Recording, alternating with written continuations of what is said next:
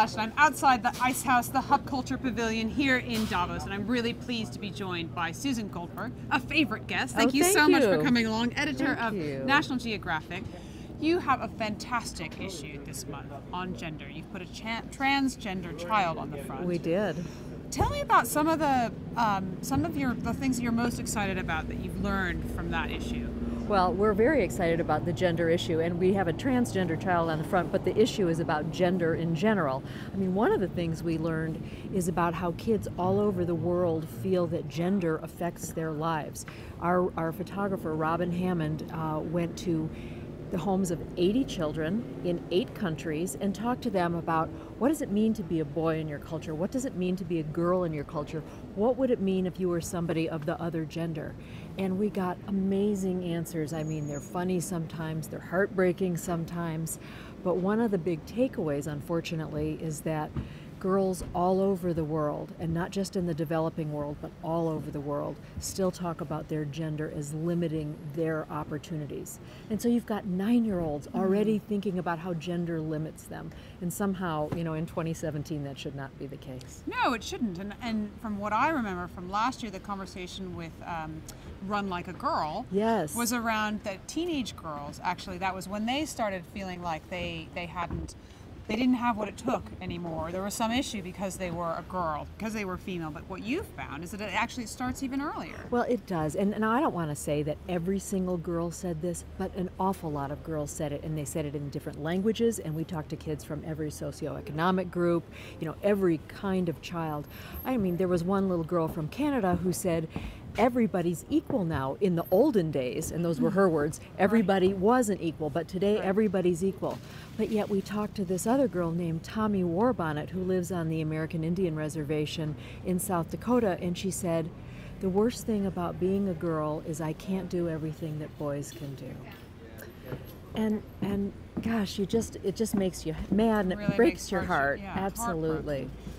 And the issue looked a lot at, at transgender. It did. And tell me about the survey of millennials that you did. So, um, uh, as part of our story um, about transgender, and we really looked at transgender through a scientific lens, as National Geographic does, uh, there was we reported on a survey of a thousand millennials, um, and half of them said that they thought that gender was a spectrum, not just a binary boy girl you mm-hmm. know on either end and that they knew people outside of those traditional gender roles and i think this is so interesting because it tells us where the conversation about gender is going mm-hmm. i mean all over the world there is a big conversation going on around gender and not everybody wants to acknowledge that conversation mm-hmm. as i've seen in some of my feedback Right. um, but you know I- But it's I, beyond bathrooms, right? Oh, it's way it's way beyond bathrooms. I mean, we're looking at you know equality really. Equality matters in in workplaces and just in, in how people can live their live their lives. Because another one of the takeaways in the issue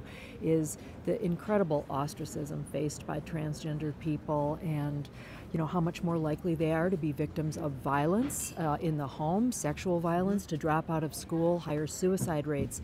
And so there is there is something important uh, going on here. And tell me about, in, in terms of some of the the issues that these people face. I, I was reading within the issue a lot of the stories of the kind of the younger folks who'd actually undergone gender transformation. Now tell me how how that made you feel. And I feel like it's the wrong question to be asking. You know, should we really be encouraging people?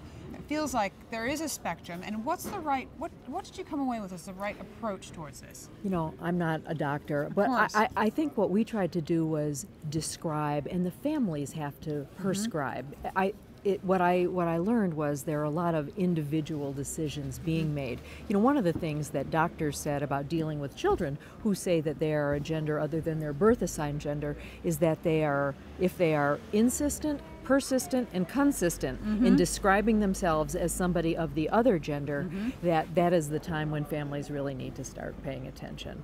Um, but you know, we just we tried to present a whole array of new research on this and people are dealing with it in a lot of different ways. The little the little girl on our cover avery jackson for example she's nine years old and she has been living as a girl ever since she was four. She has said she has been a girl and her family is raising her as a girl uh, since then. Um, she's a, an activist in the transgender community And um, we put her on the cover because not only was the portrait of her so powerful, because of, but what she said.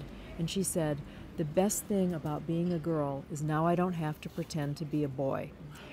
And in that one very chills. profound Yeah. sentence, we thought that that put her right at the center of a lot of the conversation going on around gender. And of course, it's incredible timing be- because we've seen former Bradley Manning, Chelsea Manning, Correct. pardoned Right by now. President mm-hmm. Obama. And she has faced a horrific time in a in an all-male prison. You can argue about whether it's the right thing to do, but it's an incredible time to be putting this issue out at a moment when we don't have a female president going into the White House, where we don't have a, a female UN Secretary General, where it felt like the gender conversation almost got somewhere in 2016 and it didn't. Well, um, I mean that that is true, and like I said, most of the issues actually devoted to looking at traditional gender roles. And in the immortal words of one of the nine-year-olds we talked to, she said, "You know, one of the things she said." It kind of bothers me how we have not had one girl president. Now, this Right. child said this six or eight months ago, Right. you know, long before the election Right. results. But I just think it goes to show you that kids are really aware of everything that's going on um, around gender. Thank you so much, Susan, for stopping Oh, stopping Edie, by. thank you so much for having me. the Hub Culture Pavilion. I'm Edie Lush.